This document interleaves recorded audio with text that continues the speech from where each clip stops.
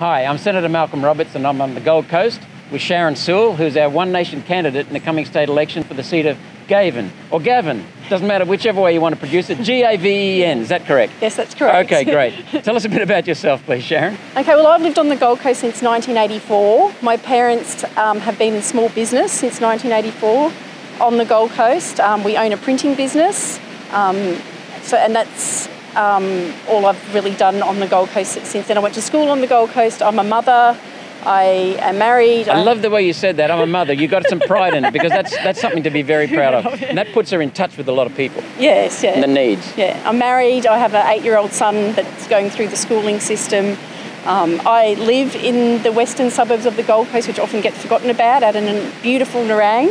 Um, and so I feel as if I'll be a true voice for the area to get us on the map, and also the real true voice for small business as I have been in small business and the ups and downs over the last years and really understand the small business community through all the, you know, things like the GFC and even the really hardships that businesses had through the You would do a lot of work as a printer for small businesses, yes, wouldn't you? So you'd interact yeah. a hell of a lot yes, with small business. Yeah, so I've, I've really seen what goes on with small business. Yeah. And the small business on the Gold Coast was only just recovering from the um, impact of the Commonwealth Games.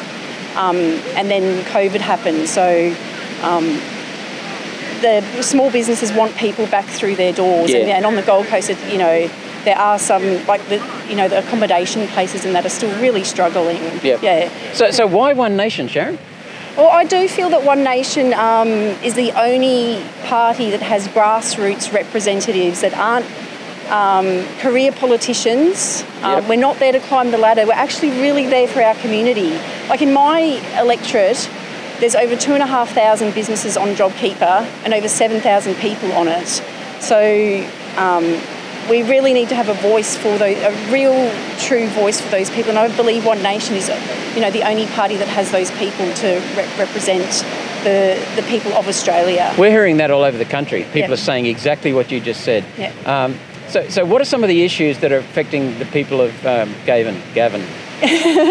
So, well, firstly, there is the small business issue. Um, you know, the small businesses just like, even though all these grants and everything, um, you know, are coming in. So there's regulations, electricity costs. Yes, and- yes, yeah. And So they- red tape, green tape, blue tape. It's, it's all just strangling small business. Yeah. It's very difficult to hire people and, and manage them properly. oh, properly. for sure. Yeah, I think the, the hiring of people is one of the biggest issues in small business. I've had, you know, got real personal experience with that too. And yeah, the electricity prices and the small businesses just want people back through their doors. Like um, uh, the average small business owner doesn't want um, a handout. We, we want people back through the doors. Yeah. You want a hand up, not a hand Hand out. out, yeah. And a hand up looks like Yeah.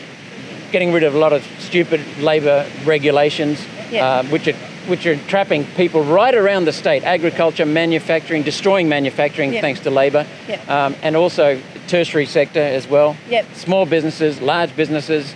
Um, so what we need is pe- uh, people like Sharon. So vote Sharon Sewell, number one in the seat of Gaven or Gaven, whichever way you want to produce it. Doesn't matter. Pronounce it. Just vote one Sharon Sewell, and you'll get a good representative who will speak up for you.